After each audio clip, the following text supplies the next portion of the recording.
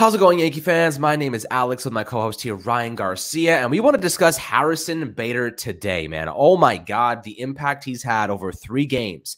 We are seeing why we traded for him. You know, this is definitely like a revisiting moment for us in terms of, you know, we traded Jordan Montgomery. Uh, everyone was kind of like, why did we acquire an outfielder in an in a boot right now when Mark Montgomery went on to actually have a pretty good couple of weeks, if not months now, uh, with the St. Louis Cardinals. And you know, Bader was a postseason move, right? This is this was always the mentality behind it for general manager Brian Cashman. It was always looking ahead to when he was healthy, what he could contribute uh, come that time. And finally, we've reached that time where he is contributing on multiple different levels here. But the offensive quality he's shown on this team so far has been the most impressive. You know, defensively, he has unbelievable range. He can run the bases incredibly well, as we've seen. But I have to say, just his offensive contributions have been very surprising, probably even better than his defensive ones up to this point. And if he continues hitting like this, and he's barely like the guy's barely ramped up uh, for the most part. So we want to discuss his metrics, you know, what he's doing, uh, the energy and spark he's brought to this team. It completely changed the entire course of the center field position. Of course, Judge was killing it there. Uh, but you know, if you're comparing him to Aaron Hicks, two like polarizing, you know, players that you know to discuss and um, the, the, Yankees also did designate for assignment uh, Miguel Andujar yesterday. So, you know, because the trade deadline has closed, um, essentially the the Yankees have to either bring him back after seven days or they'll outright him and he'll end up on waivers. So a team could eventually claim him. So maybe he'll get his wish and go to another club. Uh, but Ryan, you know, what is your impression of Harrison Bader so far, the impact he's having right now, and you know your expectations for him moving forward? So one thing we knew about Harrison Bader was the defense, right? We we knew coming into this Harrison Bader was going to be an excellent defender, and I remember uh, recording with Nick uh, right after the Bader trade, and I was very upset because I didn't understand the reason for trading Montgomery for Bader. But you know, time as time passes on from a trade, you feel a little less strongly about certain things. You kind of step back and you can look at things, uh, the bigger picture. And while yes, I still think it's not a great process to make your team worse without locking up the division um, and it almost bit the Yankees in the ass. It ended up not biting them in the butt. So, you know, uh, I got to give props there. Harrison Bader's bat is something that I've always been excited about because I thought he's some, I looked at him as someone who, you know, the numbers at Busch Stadium were really bad. Over 60% of his home runs, I think it's the exact number 69.2% of his home runs uh, have come on the road, which is a large majority considering, you know, again, you play most of your games at Busch. So, you know, if you're a Cardinal, you're playing most of your games there. So it's kind of crazy to think that this is a guy who's generated so much power on the road and failed to generate that power there. Yankee Stadium's a above average ballpark in terms of giving up home runs. I know some people talk about how the deeper parts of the stadium make it a little more pitcher friendly, uh, you know, than hit than most people think. But in terms of home runs, it's still very hitter friendly.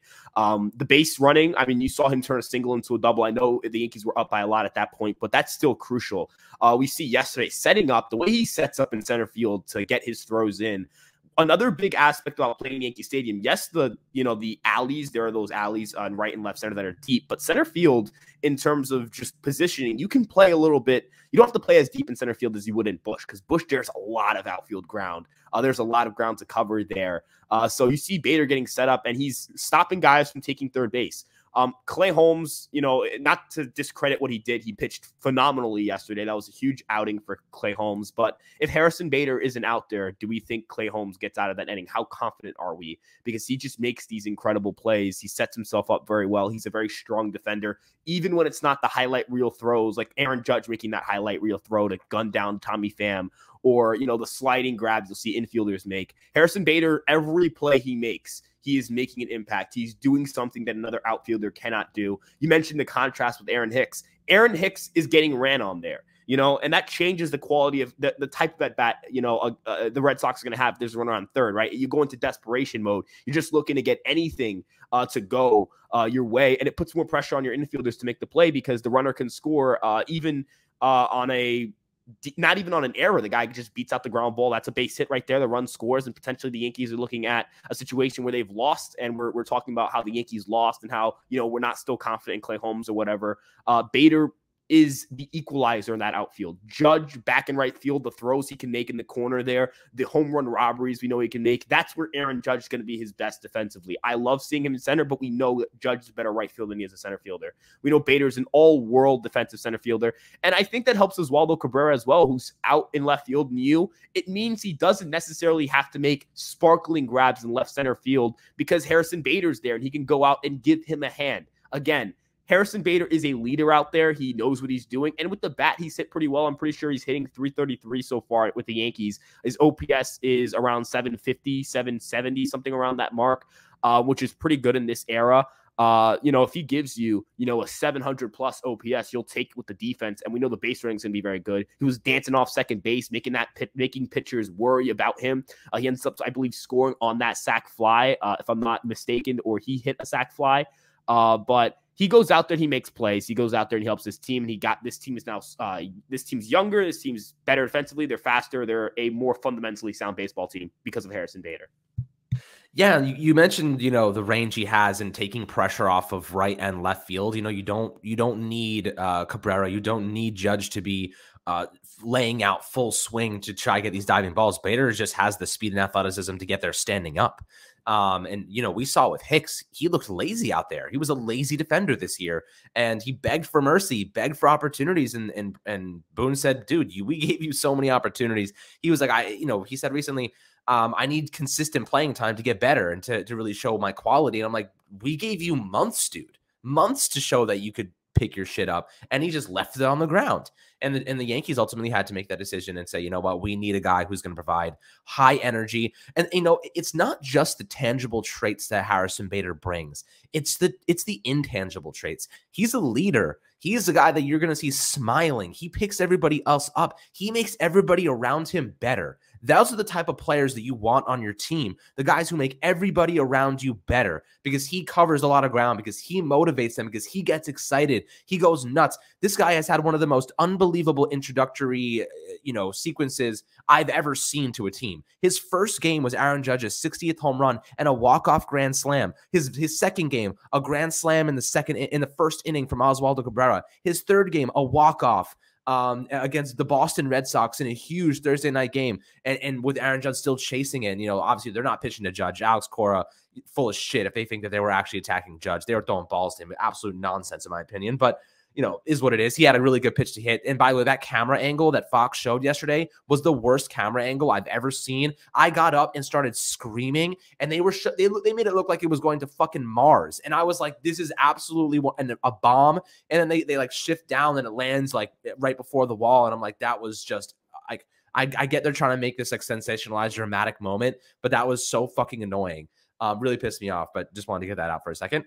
But Harrison Bader, back to him has just been tremendous. And and the thing is, what I most liked about him is that he didn't really take any time to need to ramp up. Right, he was killing it with Somerset, and he went from Somerset to the MLB after spending months off of out of baseball and immediately contributed. And I think that really stood out to me. You know, over the three games he's been with the Yankees, uh, uh just the past couple days, he's hitting 364 with a 33% on base rate. Um, he has four hits and 11 at bats and three strikeouts, and he has six RBIs.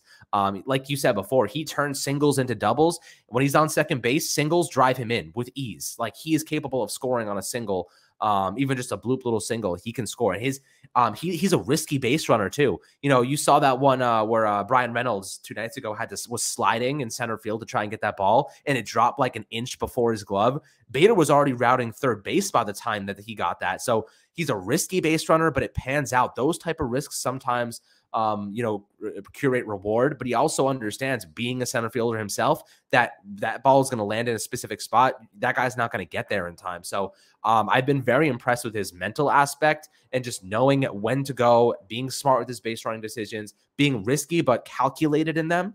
Um, and offensively, he's just been stout, man. He, he, he's he's seeing the ball well. He's making big plays. He's hitting in big moments. He's driving runners in. Um, he's scoring when he's on base. Defensively, he's he's sharp. He had that one play where he tried to barehand it. It kind of squeezed by a little bit, but it was it didn't do anything. Uh, nobody scored on it. The guy stopped at third base regardless. So uh, no harm, no foul there. But so far, very, very impressive. They get this version of Harrison Bader the rest of the way and in the postseason, this team is so much better, and it's not even close. Because before you have Cabrera in left, or you have Cabrera in right field, Judge in center, and Hicks playing left, or whoever the hell they were throwing in there. This is a monstrous upgrade, guys. I, Oswaldo Cabrera playing in left field. I'm confident in him playing there. He looks sharp. His arm is fine. Um, I'm very, very impressed with this entire outfield and how it's kind of come together. But again, we got to continue winning games. We're beating bad teams right now, and we're beating them by a little bit. Um, you know, a lot of walk-offs against Boston, against Pittsburgh. We got to be blowing these guys, these teams out every single day. You know, you can't uh, be squeezing these games out um, every single day. And, and, ultimately, I think the come the postseason against better clubs, we got to be really in flow. We got to be scoring a lot of runs. But um, you know, any last thoughts on Harrison Bader on this outfield? Yeah, so I mean, I guess kind of trying to set expectations for him offensively going forward. Um, you know, projections have him as a better than league average bat, and not like in the sense of like right at league average or maybe a tick above. A decent bit, we're talking 7, 9, 12%, depending on whichever projection system you use. Um, could you imagine this lineup, you know, in that six or seven spot, getting a guy who's, you know, a better than league average hitter, knowing the Yankees have had issues with the depth of their lineup because of all the injuries? I think of guys like Carpenter potentially coming back. Maybe you get Benintendi at some point in that playoff run. Gleyber's look better lately. Donaldson had a good night yes last night and has continued to have a strong month of September. Um, you know, Judges, Aaron Judge, Giancarlo Stanton with another big home run.